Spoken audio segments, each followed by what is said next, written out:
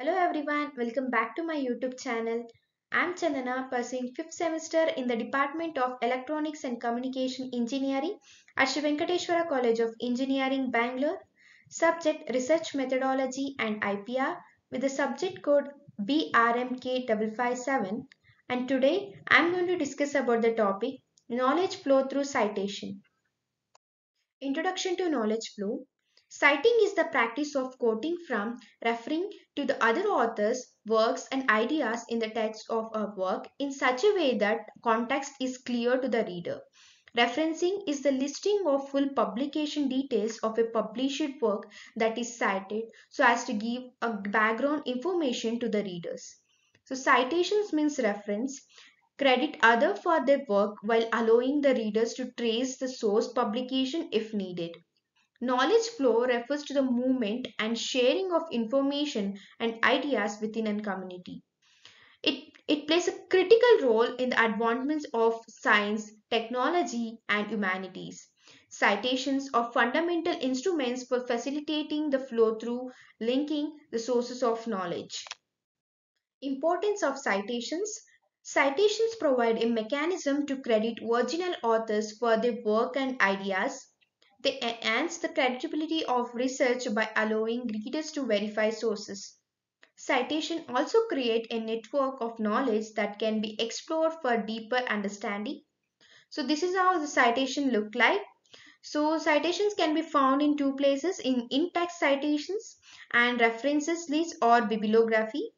So in the research paper, we can find these citations. So that means references. So in the in-text citation, we just represented the sources or references are like this and in the reference list or bibliography we just extend and we just expand uh, the references by their uh, title and the page numbers and the volumes and the author of the references so this is how the citation can be represented role of citations in research citations help researchers identify gaps existing literature and new inquiries and they allow researchers to build upon previous work and fostering cumulative knowledge. Proper citation practices enhance the integrity and reproducibility of research findings. So the citations in research paper uh, and the in-text citation we represent it as the author name and the information we, where we got the information the page number we represent it in the parenthesis in the in-text citations. Mechanisms of knowledge flow. Knowledge flow through citations occurs in formal and informal networks. Formal networks includes academic journals and conferences where citations are commonly used. Where these journals and conferences we will get uh, through IEEE Xplore. You can just check out any other websites, but IEEE Xplore we are going to find the standard journals and the conferences and informal network encompasses blogs and social media where citation may be less structured but still impactful. Knowledge flow through citation. Knowledge flow through verbal communications, books, documents, video, audio, images which plays a powerful role in research community in promoting the formulation of new knowledge.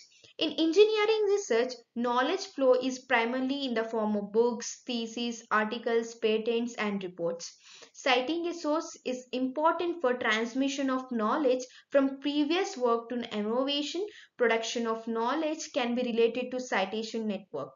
Knowledge flow happens between co-authors during research collaboration, among other research through a paper citation network, also between institution, department, research fields or topics and elements of research. So relationship between citation, knowledge flow and elements such as research, papers, publication or conferences and the institutions. So this is a pictorial representation of citation based knowledge flow. So if paper A is cited by paper B, then knowledge flow through citation network across institutions. So the complex interdisciplinary nature of encourages scholars to cooperate with each other to grab more advantages through collaboration, thereby improving quality of research.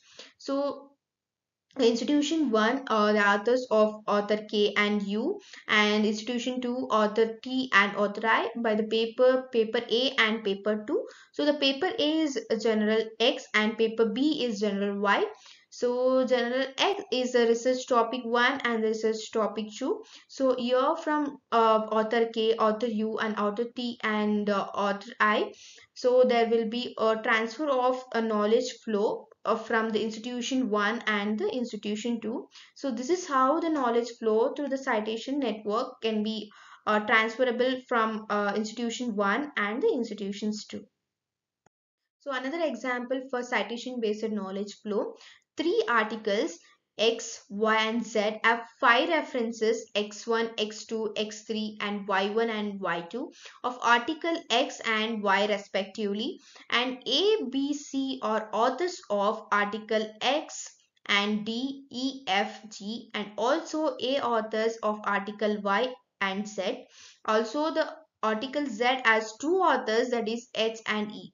So references x1, x2, x3, y1 and y2 are authors of A, P, H, R, D, Q, B, F and R respectively. So based on co-authorship citation network references x1, y1 are considered self-citation and the references x3 is level 1 co-author citation because author of article y is direct collaborator with article a and references X2 is a level 1 co-author network. So because author A is collaborator of E and who collaborated with H. So we can conclude that paper which frequently cite collaborate with often col uh, citation collaborations. So the collaboration certainly impact cite citation counts also. Best practices for effective citations. So always verify the accuracy of your citation so before submission or publication and familiarize yourself with the citation style required by your academic or professional field. Keep abreast of updates and changes in citation guidelines to maintain compliance. So in text citations, we just mention the name, uh, the author name as well as where we got the information, the page number. But in the references list that is bibliography we just mention all the details of author and whether it is journal and on which year this journal is published. We just mention in the reference list or the bibliography so you can download the research paper from many websites, but uh, just go with the authorized website like IEEE Xplore. So I'm going with the IEEE Xplore. So where you can just type the research paper type topic or the title and you will get a lot of generals and the conferences and you can download that research papers and you can put it in the literature survey of your research papers. And you will get a DOI number so you can copy that DOI number and you can add it in your uh, bibliography. And you can add it in the in-text citation also about their author and the page numbers and where you got the information the page number as well. You can just add it in the research paper challenges in citation practices. So if you just copy the wrong DOI number and uh, wrong research name and the title and the spelling mistake in the author name so which lead uh, to the misinformation and intellectual dishonesty. And the sheer volume of information can overwhelm researchers complicating proper citation. And there is an ongoing need for education on ethical uh, citation practices and standards impact of digital technologies. Uh, the internet has transformed knowledge flow by making research more accessible and digital platforms facilitate immediate citation and rapid dissemination of information and online citation management tools streamline the process improving accuracy and efficiency. Future trends in knowledge flow Emerging technologies such as AI and blockchain are reshaping citation practices. So open access publishing is promoting wider dissemination and accessibility of research. So some of the research papers are not open. So you, you can we can just open that research paper by using the SciHub uh, website. So you can just copy the reference title or DOI number and you can just copy that and we can just access uh, that research papers and uh, future citation system may evolve to include dynamic real-time references that adapt over time. Knowledge flow through citation is vital for the progression of academic discourse and effective citation practice contribute credibility and reliability of scholarly work and by understanding and improving citation methods we can enhance the overall flow of knowledge. Thank you. Please do like, share and subscribe to my YouTube channel and stay tuned for more interesting videos like this. Thank you.